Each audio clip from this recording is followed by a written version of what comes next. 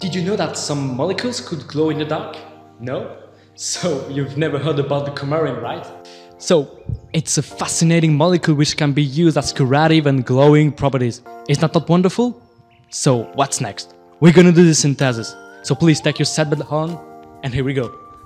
Safety first, you need to wear a cotton gloves, but also glasses and gloves.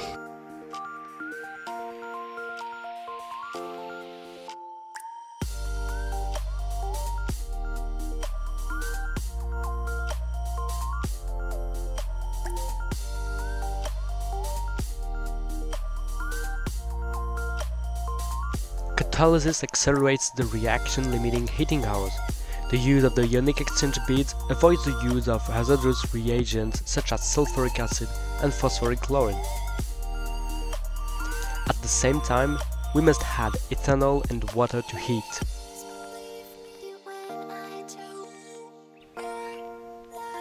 The end of the reaction is seen thanks to the formation of a brown solid.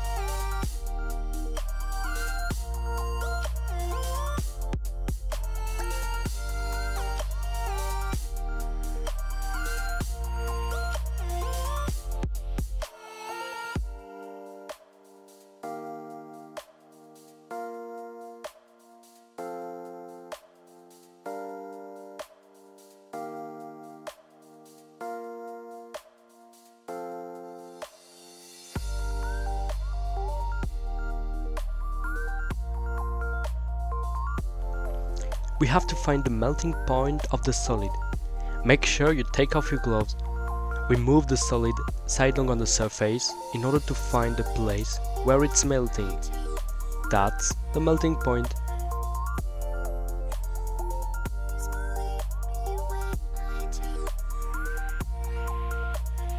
I hope you enjoyed this synthesis. This video was made in order to take part to a contest Chemistry Rediscovered. Please let us know what you think. Bye!